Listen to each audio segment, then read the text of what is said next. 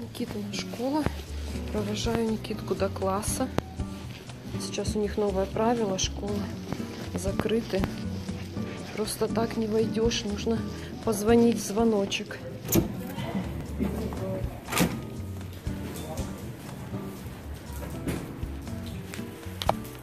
Так, вот там мальчик пошел. Такой аппаратик, кнопочка, вернее, нажимаешь. э, Идет идет такой звонок в офис. И они спрашивают, там, по какой причине, допустим, ты опоздал, если позже пришел, потому что дверь уже в 9 закрывается. Вот это только в этом году здесь сделали в нашей школе. А вот э, в первой, в элементаре школе, в Никиткиной, в прошлом году тоже уже сделали такую вот систему охранную, чтобы не могли просто так войти. Раньше был свободный вход в школы, а сейчас в связи со всякими терактами сделали. Ну, не знаю, может быть, в других городах Америки, в крупных уже давно такое было, что школа закрыта была. У нас вот только-только. Такая погодка у нас ужасненькая. Дождь у нас сегодня льет с утра. Так вот Никитку отвезла в школу, сейчас к родителям заеду. А сегодня сделаю такое видео, наверное, как наш день. Давно уже не делала таких видео. С утра до самого вечера посмотрим, что получится из этого. Как раз вот, знаете, э, вчера весь день передавали вот этот ураган, Мэтью вроде называется, во Флориде. Я вот видео тоже нескольких блогеров смотрела на эту тему. Они все там в ожидании урагана. Не знаю, вот сегодня он уже там прошел или еще его ждут. Но вот видите, и у нас тоже погода, кстати, эти дни прям испортилась. Вчера тоже так холодно было, немножко дождь. Сегодня вот с утра дождь льет. Вон все небо затянуто. Хотя мы вообще находимся на другой стороне Америки. Не знаю, может быть, просто так совпадение. Вообще у нас тут тоже ураганы бывают. Вот я в прошлом году снимала видео. Если кто видел, у нас тут были разрушения, деревья прямо на дома падали, дома пополам были сломлены, несколько жертв было. Одна женщина ехала в машине, и на нее дерево упало, вот она погибла. И вроде в доме кто-то тоже погиб. Ну так вот немного, но несколько человек было. Так что вот все возможно. Вот у нас уже два года подряд такой сильный ветер, ураган. В этом году, не знаю, в прошлом году вообще была такая здесь паника, тоже э, света не было в городе. Вот у моих родителей неделю не было света, они у нас несколько дней ночевали. А как раз холодно, снег выпал. Было. Это конец ноября, начало декабря вроде было. Тоже полгорода без света сидела без отопления, тоже все разбирали, дров вообще не было в магазине воду там все раскупали, но нам как-то повезло, мы в доме, у нас был свет.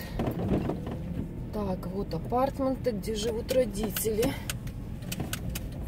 Так, ну пока отключаюсь. Приехала я в такое место, я уже как-то снимала, мы с Наташей делали видео. Здесь мы берем для детей памперсы на месяц дают, это бесплатная программа. Здесь такие прикольные человечки. Человечки прикольные такие. Вот это место называется... Ну, сейчас я покажу карточку. Вот эта карточка, кто в Спокене живет, если нужно, вот адрес на 8 авеню находится.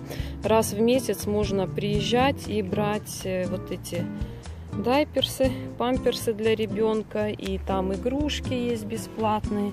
Вот одеялка такое новое для Кейдена взяла. Классно. Вот видите, целый пакет памперсов. Влажные салфетки. Ух ты, аж три пачки дали влажных салфеток. Не всегда так много дают. Один месяц могут много, один месяц мало. Памперсов, он там упаковка. И тут еще сколько-то они доложили. Вроде до трех лет, если я не ошибаюсь, эта программа действует. Так, еду назад домой. Значит, это у нас уже южный район города. Южный район мне очень нравится. Здесь очень много зелени, он такой зеленый. Но у нас тоже э, север города, он э, тоже зеленый, но у нас там в основном преобладают елки, сосны, вот такие большие деревья. А здесь разнообразие вот таких деревьев. Центр у нас, допустим, ну не сам центр, где даунтаун, а центр как бы города, где такие простые районы, там они более э, голые, что ли, можно так сказать. Там не так много таких больших деревьев.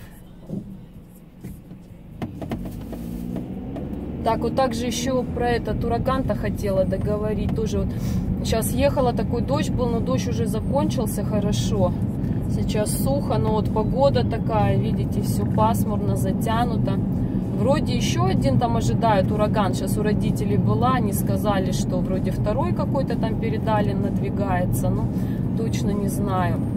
Я просто вчера смотрела своих блогеров, которых я смотрю, вот там двоих, кто во Флориде живет они, а, значит, одна женщина, она там в апартментах живет, она уехала к сестре переждать это время, и они заклеили вот так вот окна, а, как вот в фильмах показывают, как во время войны вот так крест-накрест заклеивали окна, ну, чтобы не повыбивало от э, силы удара, вот когда сильный ветер будет. Но я не знаю, поможет ли это при таком урагане или нет, но вот они так сделали.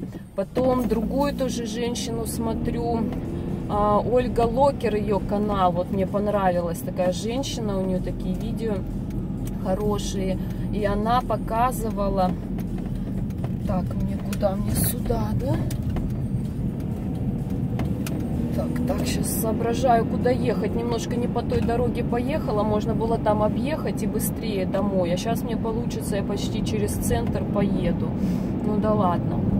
Так, и вот, значит, у этой, у Ольги Локер, да, она видео показывала, как они там закрывали окна э, на домах, и вот у кого на, возле дверей есть тоже такие окна стеклянные, специальными железными листами. Она говорит, там уже, кажется, приспособлено, это все встроено в дома, такие специальные отверстия, для того, чтобы вот эти железные листы прикладываешь и во время урагана закрываешь, ну, чтобы не повыбивало окна. Вот так вот они там спасаются. Но ну, посмотрим, что еще сегодня будет в новостях.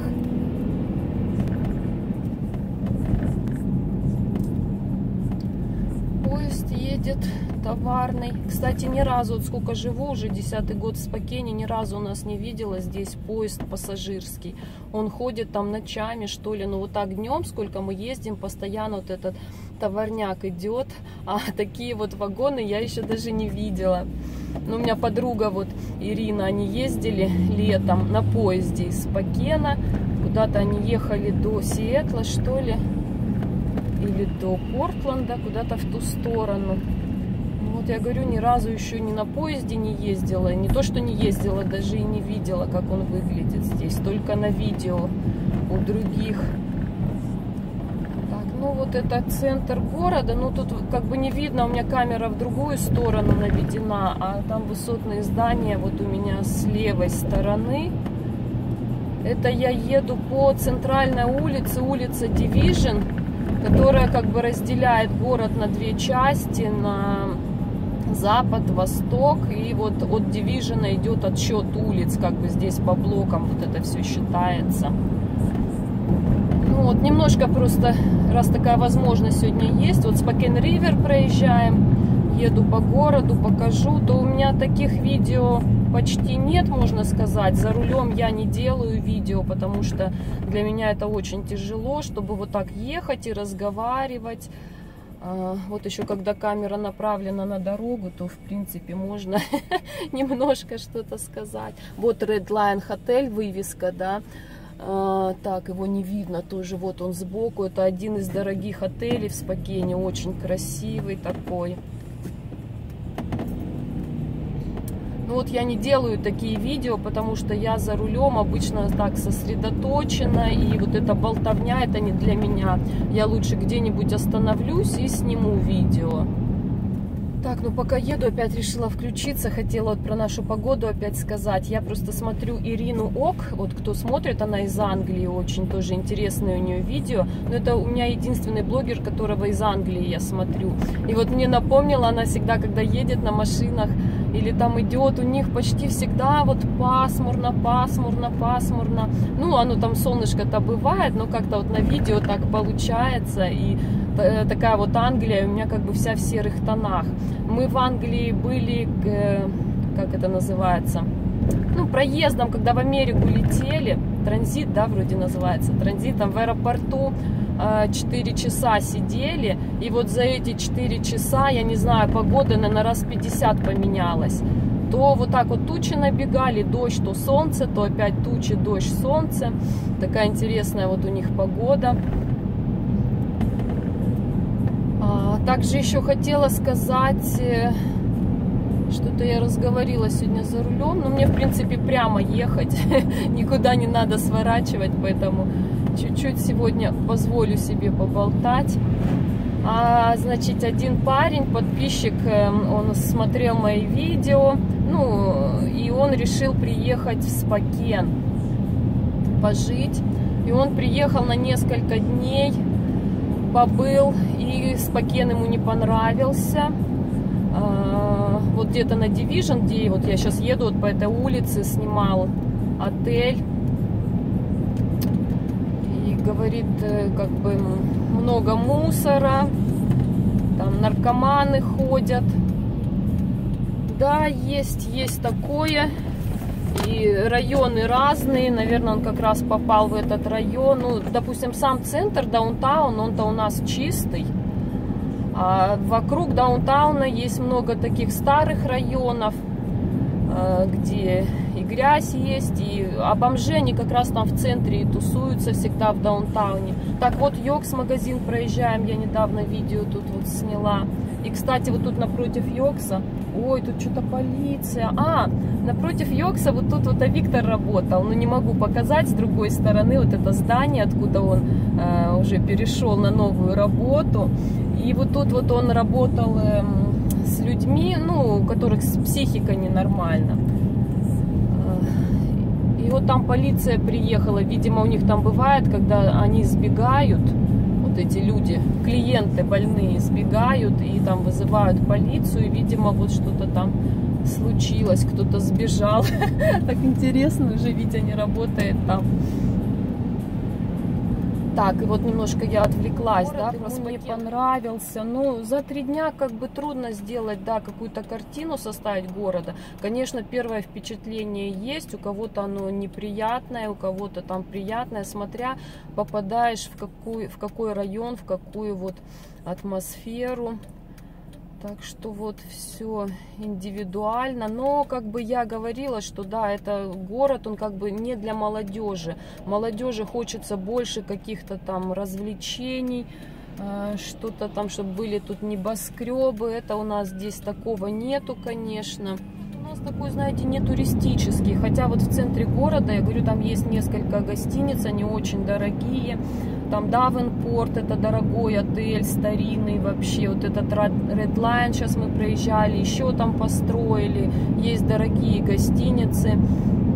Там, я не знаю, от скольки, может быть, от 200 долларов номер или даже больше. А, есть мотели там за 50 долларов. Э. И, конечно, здесь очень тяжело в Спокене как бы сразу устроиться.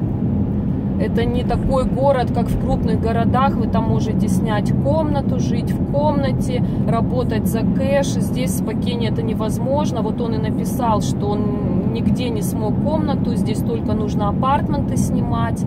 И, значит, требуют обязательно вот эту историю, рент-история должна быть, что вы уже жили, или кто-то должен за вас поручиться. Как бы здесь все не так просто, поэтому Спокен не для того, чтобы, знаете, сюда ехать на первое время. Сюда едут только те, вот как мы ехали, или те, кто к знакомым или к родственникам, кто вас приютит и за вас сможет поручиться. А просто так приехать и без вот этой истории кредитной, без поручения вам никто здесь жилье не сдаст. Поэтому Спокен как бы не для этих целей. Но Спокен, знаете, это средний город, он и не маленький, есть намного, э, много, вернее, маленьких городков. И он не крупный. Вот Сиэтл самый крупный в нашем штате, а потом уже идет Спокен, как бы второй такой город, он разбросан, потому что в основном это как одноэтажная Америка, да, по территории он большой, допустим, наш Бишкек, миллионное население в Киргизии, он по территории, наверное, раза в три меньше Спокена, но по населению, получается, Спокен чуть ли не в три раза меньше, здесь где-то 300 с чем-то тысяч населения, может быть, около 400, вот так вот примерно. И русских здесь тоже, вот, ну, насколько я слышала, где-то тоже может быть около 40 тысяч русскоговорящих в Спокене. Но все вот так вот едут э, к родственникам, к друзьям. Поэтому не город для того, чтобы вот приезжать первое время и вот обустраиваться, если вам некому ехать. Ехала, и вот иду с Ровиком прогуляться. Сейчас в парк с тобой прогуляемся, Рови. Прогуляемся, мой золотой, мой красавец. Просили Рови тоже показывать побольше. Но я снимаю там отдельные такие небольшие записи о Рове. Так, хотела показать. Вот нам вчера здесь вот эта служба э, Ависта.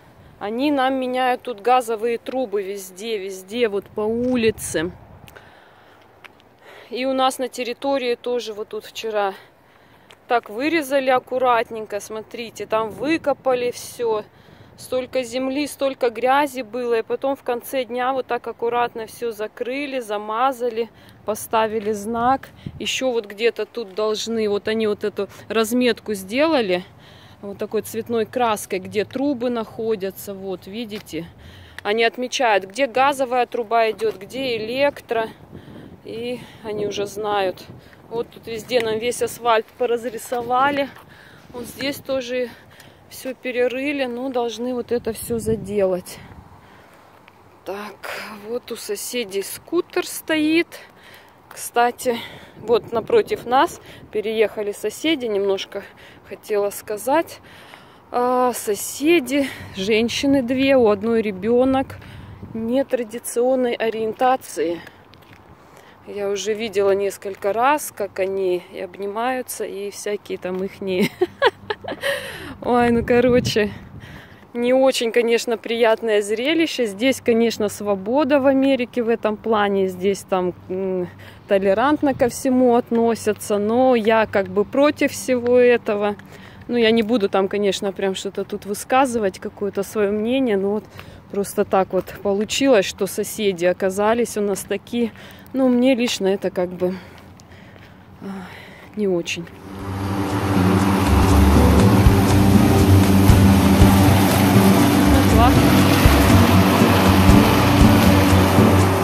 Подстригает траву. А Рови так испугался, бедный. Бежит, бежит. Быстрее домой, скажи, мама, домой.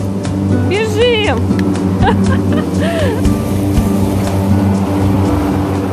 За Никитой в школу этой стороны у них такой стадион большой. А вот здесь выходы, входы, выходы много вот с разных сторон, дверей. Здесь заходишь, у них даже кухня есть при входе. Amusement. Butler Amusements. Blocked my phone number. Okay. No, I didn't. Yeah, they said, here, They said, don't call me anymore. На школьном автобусе хочешь поехать? Так, приехали мы с Никитой в библиотеку. Она рядом со школой находится. Вот Никита хочет какую-нибудь книжку выбрать, да? Какую ты хочешь взять? Русские сказки. Ага, а ты постарайся, да. Это ну, интересно. Возьму, дочитаем.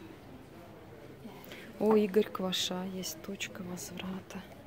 Очень мне нравился, когда он эту передачу вел. Жди меня. Чехов, Иванов и другие. Никогда не читала. Стихи Агнии Барто. Так что здесь у нас много русских книжек. Это русские, наверное, кто приезжал, привозили книги, потом сдавали в библиотеку. Что там еще есть? Журналы. А, не, журналы это все на английском. Ну, такая вот библиотека небольшая. Сделали вот такие аппараты, что можно э, самому брать книжку, но я уже не помню, как ее А делать. нужно вот так, Так, вот, так, вот такую Никита взяла. Ты постарайся. И русские народные сказки будем вспоминать. Так, нужно как-то пин набрать. Нет, нужно карту Карточку. сначала. Вот это.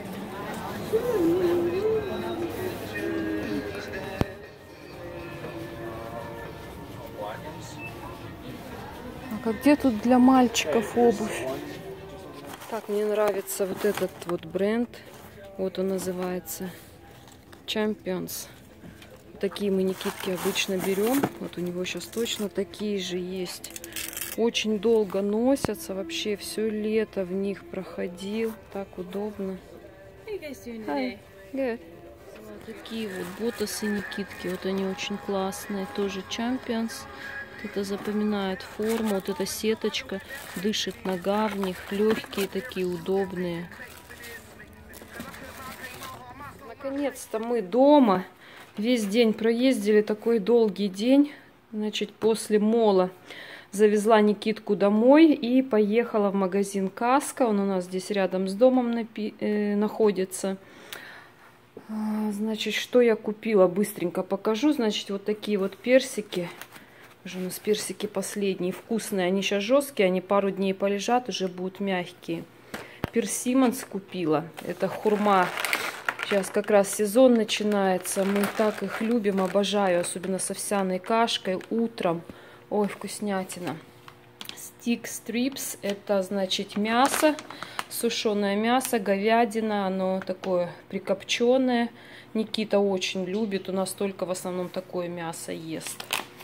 А, мандаринчики. Так, и вот такие вот конфетки купила попробовать. Ну, это вафли и там начинка черный шоколад. Такая подарочная коробка. Здесь вот если перевернуть, вот тут можно написать от кого, для кого. Еще ни разу не пробовали. Американские конфетки попробуем. Ну, вот такой вот набор у меня получился на 40 долларов. А вот и папаня наш пришел. Я тут снимаю фрукты. Да. Так. Вот и просили показать, в чем ты на работу ходишь. В чем медбратья работают. Пожалуйста. Это последний писк моды. Лето 2016 Я имею в виду осень 2016 Осень, да. Штаны карго с кармашками. Мгм. Это. Это. Так, отлично. Так одеваются те, кто работает в психиатрических заведениях. А где мои детки? Детки спрятаны. Ровик помогает разжигать костер. На камере светлее, чем на самом деле снимает. Надо же. Ага, так светло. На самом деле темно. Вот первый камин в этом году. Да, точно. Ровик еще не видел огня, да? Вот он полюбит это место, он любит тепло. Будешь возле камина тут сидеть, друг мой. Рови, покажи свою корзинку. Вот у Рови такая корзинка с игрушками.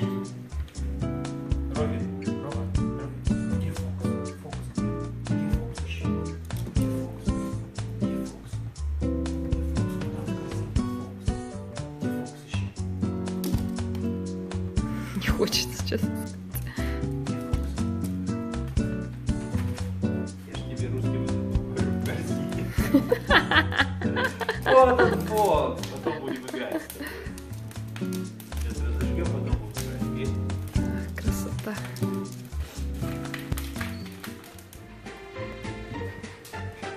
Вечерние игры с Рови.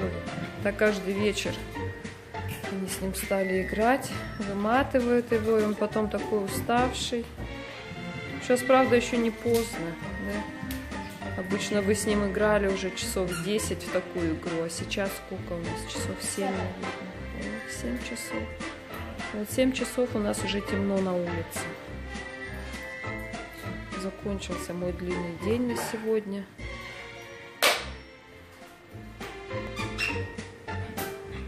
Попрыгушки Ровкина.